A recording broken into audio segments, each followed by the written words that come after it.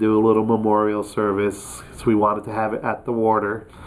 So it's at the Seven Rock Convention Center.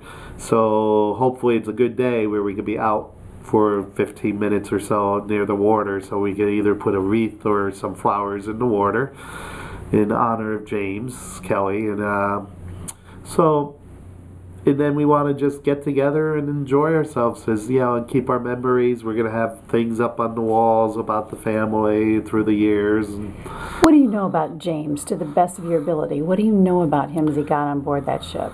the only thing we know is that he was always considered a laborer so we don't know anything about jobs what he was doing we always were told at least they were very poor very poor and that's one of the reasons they decided they needed to come i guess to the us for another opportunity so um, that's about it Don't you wish you knew what he was doing for two or three days before the Titanic hit the iceberg? No, absolutely, absolutely. I would love to know what type of personality he had, because his wife, Kate, lived until her 90s, and there's just some great stories about her. That she was such a personality. She was just funny to talk with, and so I would love to have seen what his personality was and how it matched with hers, from what I understand with my relatives. And again, the hunt is on for a picture. Yep, we need a picture.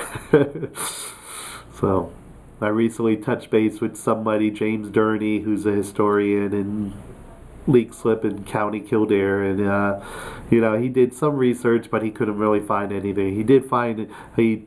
His wife actually went down to the Mill Lane where they lived and actually took a couple pictures of houses that were in that time frame of the 1910, 1912 and they were basically uh, according to the census they had two room house and there was And how many children? there was seven children six that were living at home at that time because one was in the service so there was eight of them in the house for a two room house Do you hope to build any kind of a foundation or just to have these reunions?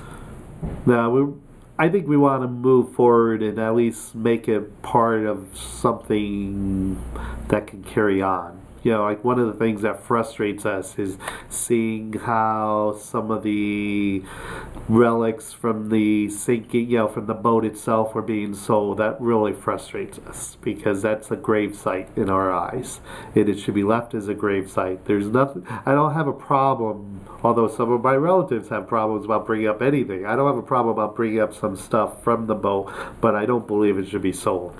I think it could be in a museum type of exhibition. That's fine in my eyes, but to have it sold is just not right.